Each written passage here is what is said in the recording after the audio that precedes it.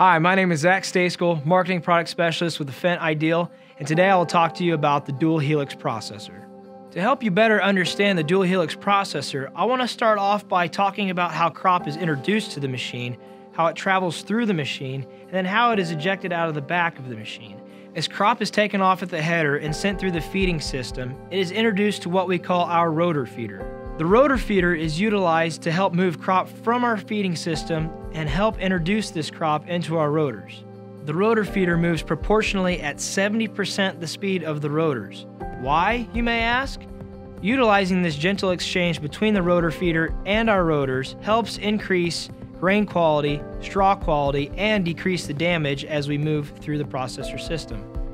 As the crop is moved from the rotor feeder to our dual helix processor, you'll notice an industry exclusive design. Two 16-foot rotors with 24-inch diameter are utilized to thresh and separate the crop as it moves through the machine.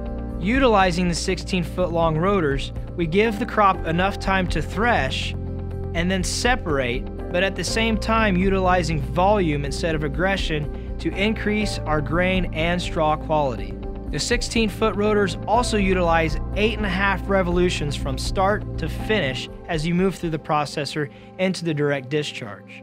As the crop is introduced to our direct discharge, you'll notice that we do not utilize a rear feeder or a rear beater, which decreases the complexity of the machine, increasing your serviceability and uptime. By not utilizing a rear feeder or a rear beater, we directly discharge this material and increase our straw quality, which increases your profitability as a consumer with your baling operation. With the dual helix processor from the Fendt Ideal Combine, you can increase your grain quality, increase straw quality, and increase your field efficiency to help also increase your profitability and put more dollars back in your pocket. Thank you, Zach. And thank you for taking the time to learn more about the Fendt Ideal Combine. We're gonna have some more content coming your way, but always keep in mind, the best way to learn about the Fendt Ideal Combine is to see it in your field, in your conditions, so you can see the impact that it has in your operations. So be on the lookout for the harvesting demos that we're gonna be doing this year in 2019. Thank you.